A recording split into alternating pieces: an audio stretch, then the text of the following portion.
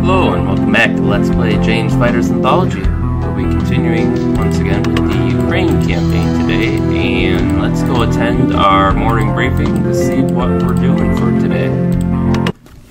You gotta hand it to those Ruskies. They're making some quick progress. They've advanced as far as Donetsk and Poltava, swallowing up Ukrainian air bases along the way and moving in squadrons of interceptors. We'll be striking these air bases hard over the next few days, hopefully before any of them are fully operational. The Russians recently deployed a MiG-29 wing to a major air base outside of Donetsk. The Air Force is sending in a 40-mile-long gorilla to shut the place down. You'll provide top cover for the leading elements as they enter and exit the target area. So it sounds like we'll be doing combat air patrols for a couple of Air Force B-52s.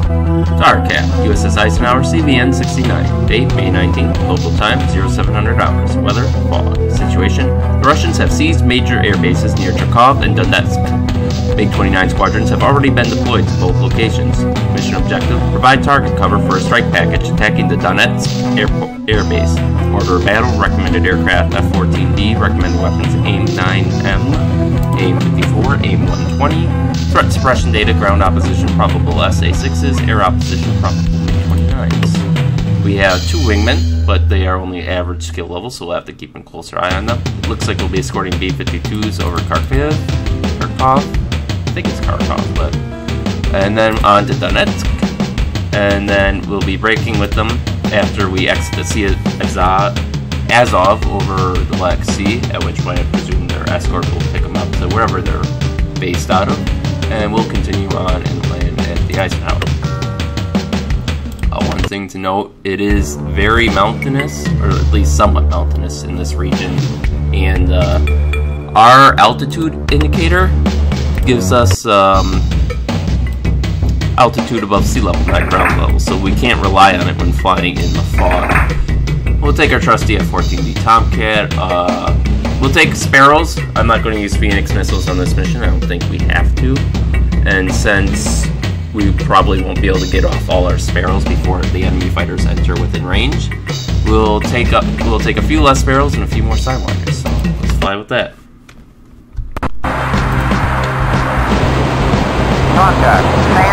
Sam, 1 o'clock. There they are. 1 3 miles. Please advise. Echelon formation. We see there's MiGs painting us from behind already, but worse off, we have expert flankers in the air. Those are the Russian equivalent to the F-15 more or less. you're 12 o'clock slow. 11 miles. Please And, advise. uh, and we have MiG-29s that are experiencing signal, so we'll have to keep a close eye on our on this mission. For now, let's intercept these guys.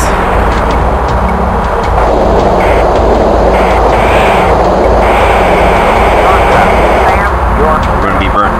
Hopefully we can get these guys real quick, and then we can uh, turn around and intercept the other guys. So let's dive, make sure we aren't shooting against the ground fire here. Since while these sparrows are better, some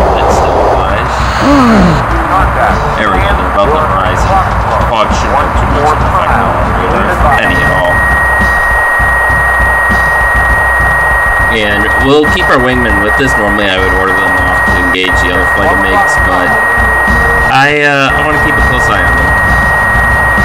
So, that's what we'll be doing. Alright, we'll have our wingmen target that one, and we'll take the leader.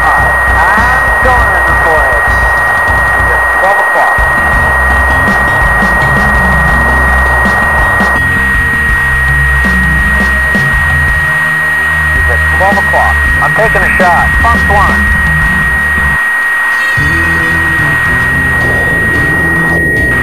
Deploy. 12 o'clock. I'm taking a shot. Alright, we're good so far. Alright, Splash one. that was absolutely perfect. I wish I could order only one wingman to engage, so that way we aren't wasting missiles, but... let's fly over to these guys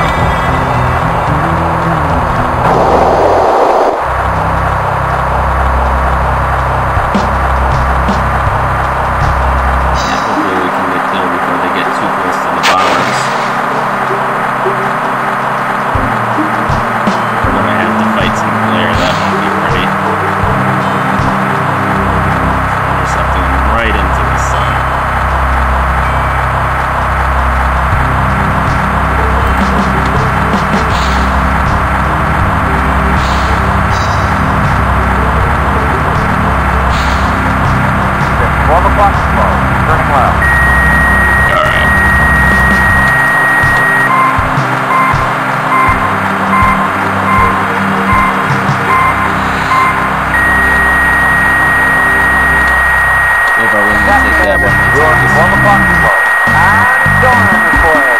We've got him now.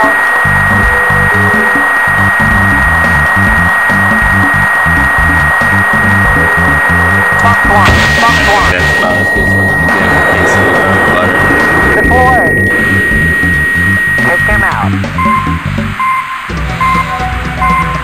Well, the guy's attention, that's the important thing. Apex inbound. Drop cap. Fox 1. He's closing. Damage. I lost him. Wait. Fox 1.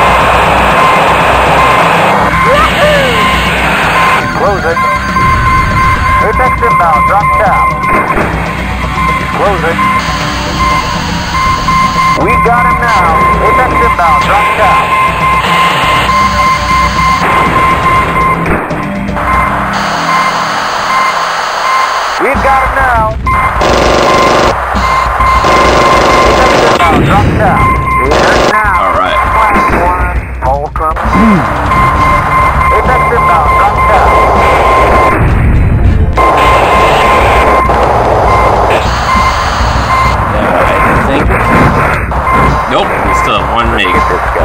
I'm taking a shot. He's at 8 o'clock. Running right. 8 o'clock. I was hoping my wingman could get two one odds, but at least they aren't dead. inbound. Drop cap.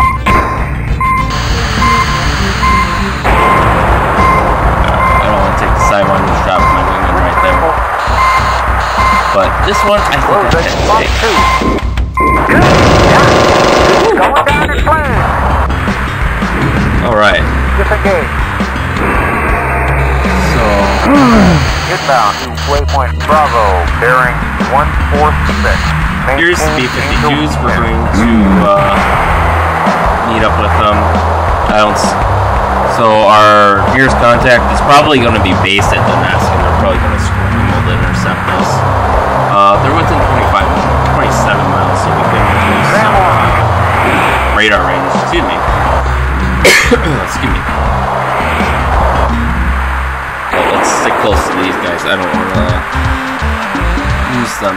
We also got to start keeping an eye on the field. A lot to get 11 o'clock to, uh, 10 miles. engage those rear makes and then turn around to engage those makes.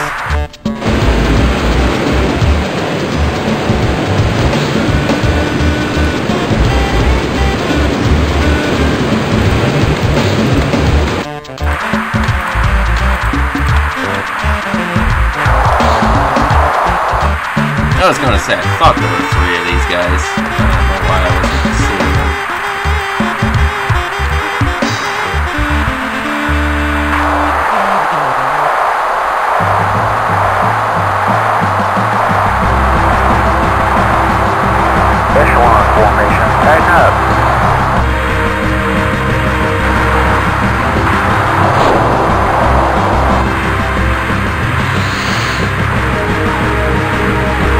Jamming Sam, you're 1 o'clock slow.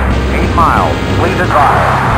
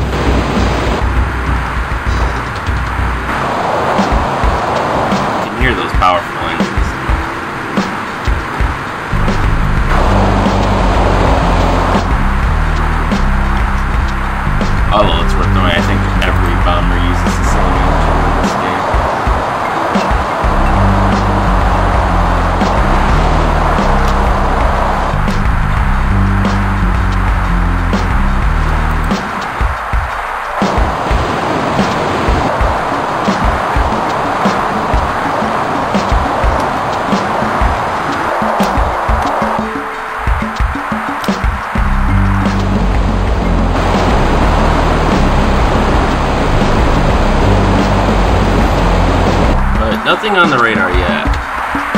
So we'll resume following the uh, waypoint. Tighten up. No, not Contact. taking off. Triple H, your Combat two o'clock spread. flow. Seven miles. Please advise. Combat spread. Um, Sam launch.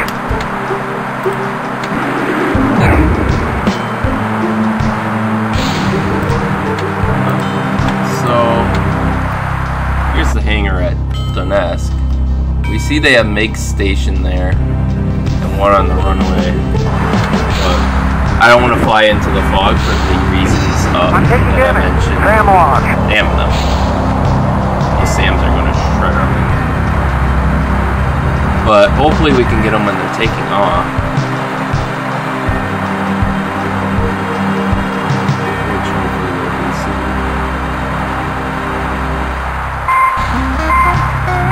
There we. Target me, not. Apex inbound. Drop tap. Inbound. Waypoint Charlie. Bearing 189. Maintain Angel 10.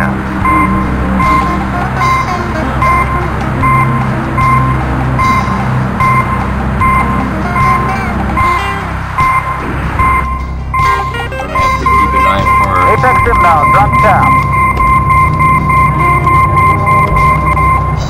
when they take off.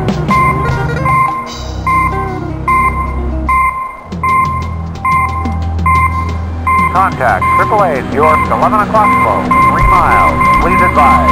Apex inbound. Drop tap. Or if we get if we get really lucky, the B-52s might just destroy them on the ground. They should be over the target zone. Proceed to Waypoint Delta. Bearing 188.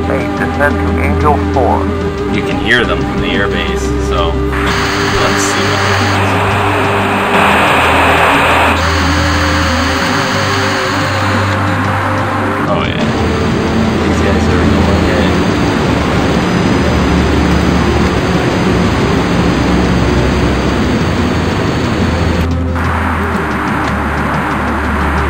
that's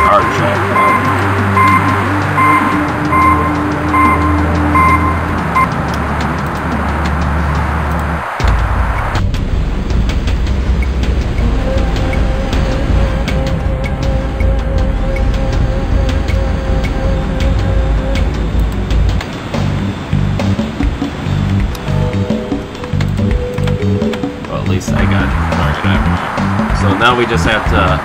It looks like B-52s didn't weren't actually assigned to drop bombs. That's unfortunate. They're just doing a waypointed mission, I think.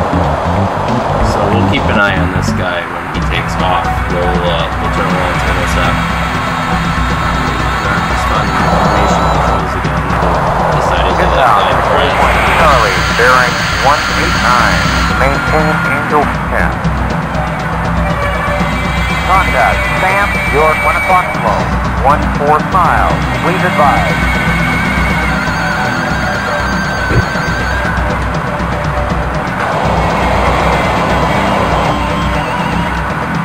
A line abreast is very good, especially in this game if you want to conceal your squadron until you're at close range. Because then your radar can't really pick them out until you're 10 miles away. You've seen that how our one contact is split into two and three.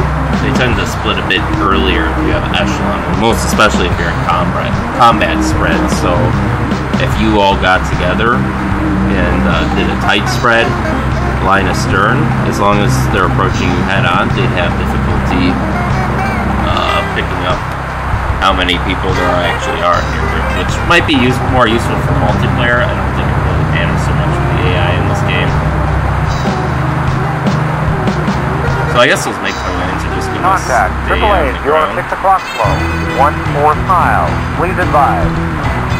Let's expand our range to 50 miles because I don't want anything sneaking up on us. At least on our radar warning. Mission accomplished. Okay, so mission accomplished. Is accomplished. Well, uh,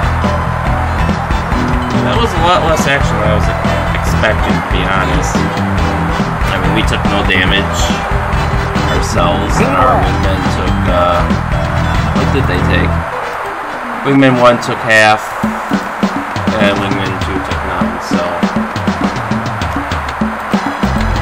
Now for the hardest part of this mission. Landing. Switch over to navigational mode.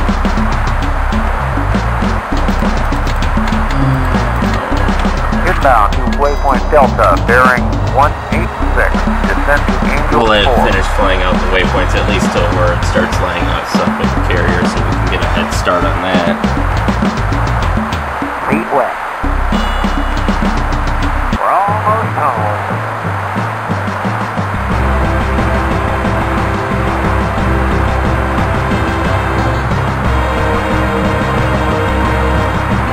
And we should still have. Oh, okay, got plenty of fuel. A ton, but enough. 329. Descend to Angel 0. Clear to left.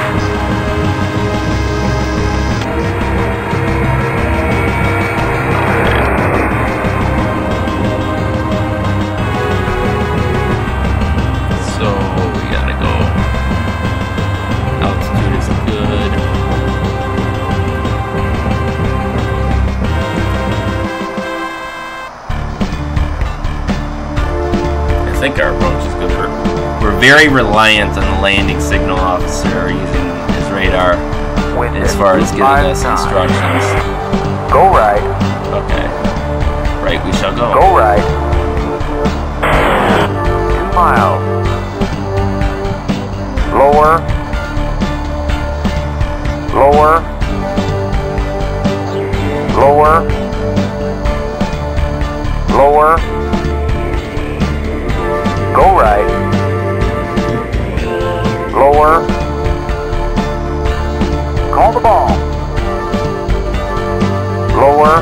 Oh yeah, we gotta go a lot Lower. lower, but Lower. Lower. uh, come on. Lower. Damn it!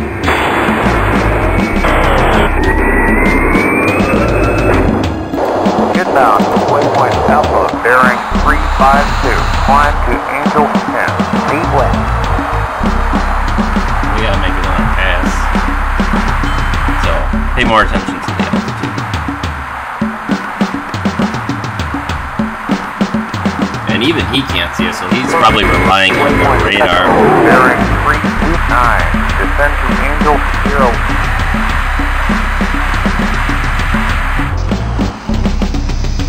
Five miles. Go right. So go right. Higher. We're not going to compensate by going higher. Four miles. Go left. Yeah, I figured that was what would compensate. Go left. Lower. Okay, so Lower. we're about good there. Now we just gotta lower ourselves. Lower. Let's go left a bit more. Lower. There. Lower. Lower. Two miles. Lower. Lower. Lower. Lower. Lower. One mile. Oh, I see it. Go left. Higher. Too much bang. On the ball. We are on the ball, gentlemen. Lower. Fair landing. Alright. Not the best, certainly. We should have pitched up higher, but when the when the fog is that bad, especially when I can't see my my little uh, landing dots, it just gets very difficult very fast.